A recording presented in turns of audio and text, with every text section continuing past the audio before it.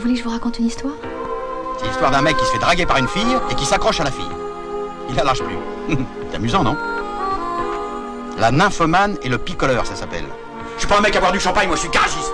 Et un garagiste, ça boit de la bière. On la voit la bière dans tes yeux.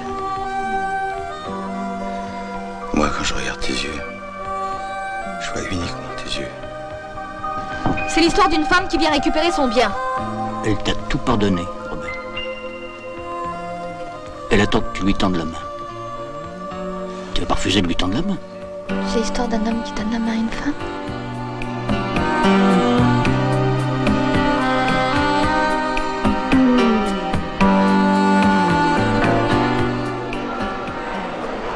Qu'est-ce que vous voulez de plus?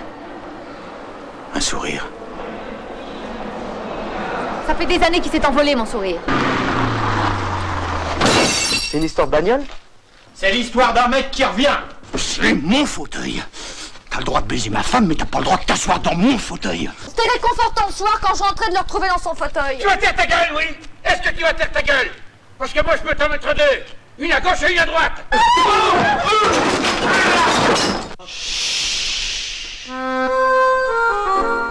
C'est comment la tendresse déjà? Bah, c'est par exemple quand on se sent désarmé. Devant quelqu'un.